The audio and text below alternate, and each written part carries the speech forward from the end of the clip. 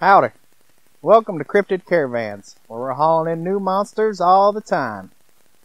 Today we're going to take a look at the Little Miami River and the cryptid that dwells there, the Loveland Frogman. About 20 miles northeast of Cincinnati lies the little town of Loveland, Ohio. For the past 60 to 70 some years, they have lived with the legend of the Frogman, sometimes called the Loveland Lizard. It's described as a humanoid creature with skin like an amphibian. It possesses webbed feet and described sometimes as having a tail. It weighs around 50 pounds and stands only about 4 feet tall.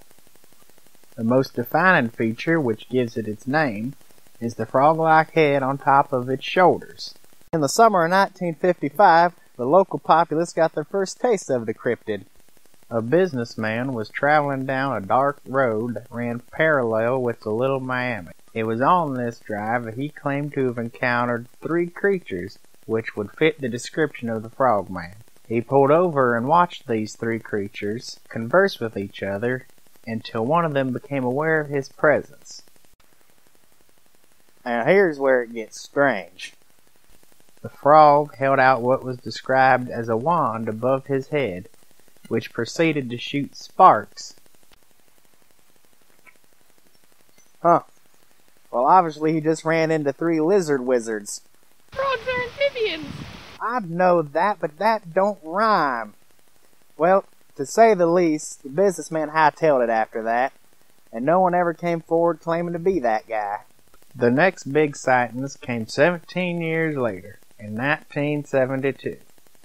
This time the creature was sighted on two occasions by officers of the law. On the cold night of March 3rd, Officer Shockey was heading down Riverside Road, which runs beside the Little Miami River, hence the name. He spotted what he believed was a dog in a field near the road.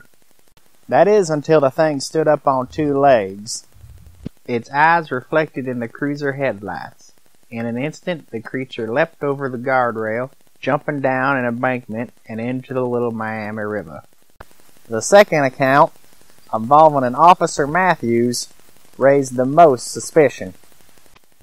He was driving into town around St. Patrick's Day when he spotted what he called an injured animal laying there on the pavement that matched the description of the cryptid reported earlier that month by Officer Shockey. Stopping to recover the animal from the icy road to support his friend's story, he got a real shock when the thing jumped up and started running away from him. Scared him so much, he took his service revolver out and shot at the frog-like creature. Actually, he claimed, I knew no one would believe me, so I shot it. God bless America. In some accounts, Matthews says it limped off over a guardrail and disappeared into the night. Other times Matthews claims that he scooped up the animal and put it in his trunk. It was years later when Matthews changed his story completely, claiming that what he shot at was nothing more than a big iguana, possibly a lost pet. It had lost its tail, making it hard to recognize at first. Maybe he got tired of being ridiculed by his fellow officers. Maybe he got tired of telling a lie. Or maybe he got tired of all the rumors going around. The frogman went relatively quiet after that sighting. Except for a claim by a farmer that saw the frogman riding a bike. Yeah, I wish I could find more on that account too. He wouldn't make another notable appearance until 2016. A couple were out playing Pokemon Go around Lake Isabella when they spotted a frogman get up on two legs in the lake. Before leaving the scene, they were able to catch some pictures of it that are expectedly grainy.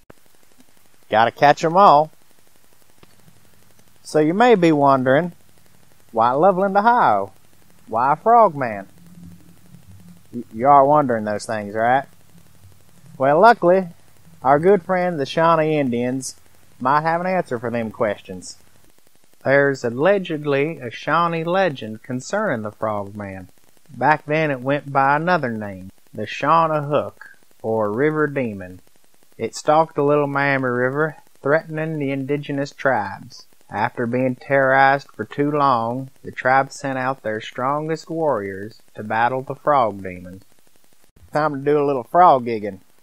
They were successful in beating the Shawnahooc into hiding. It stayed in hiding until the colonial settlers chased off the local Indian tribes. So, is there a frogman in the waters near Loveland, Ohio? Possibly an old demon? Or do you believe Officer Matthews' account that it was just an ornery iguana? Real or not, it's become an icon of the Loveland community. Heck, 2015 saw the first annual Loveland Frogman race. Well, I've given you the history. You decide for yourself.